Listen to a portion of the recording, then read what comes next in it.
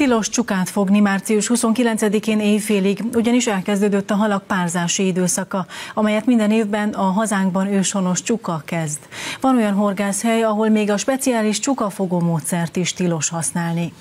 A Nyugat-Dunántúl álló és folyóvizeiben gyakori ragadozó hal egyik lelőhelyénél kérdezte szakértőiket Simán Klára kollégánk arról, hogy hogyan érinti mindez a horgászokat.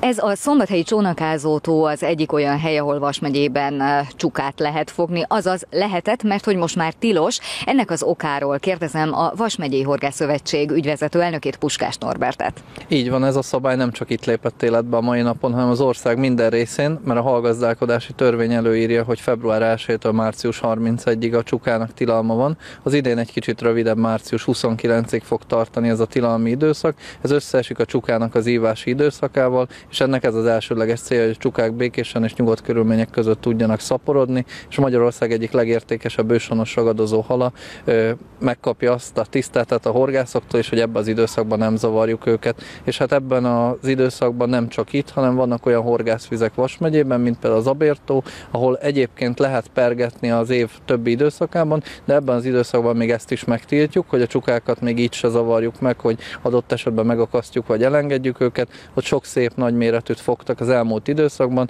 és hát itt, ahol állunk a csónakázóton, itt azért lehet pergetni, meg műlegyezni is. Ebben az időszakban a csukatilalma alatt süllőre, illetve egyéb ragadozókra még egy kis ideig lehetséges horgászni.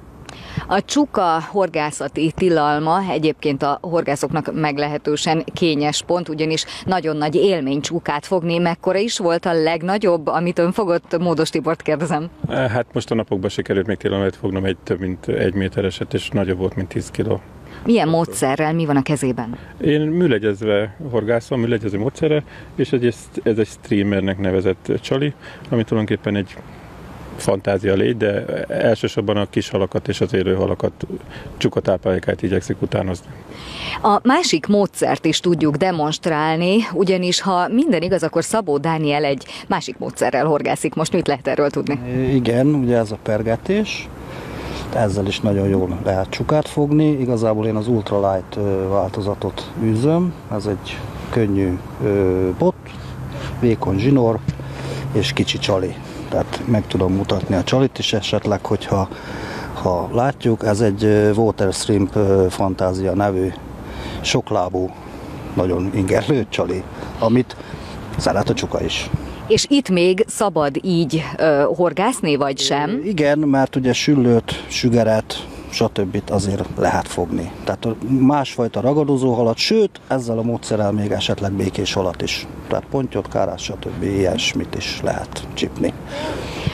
Ez a tilalom a következő hónapokban él egészen március végéig.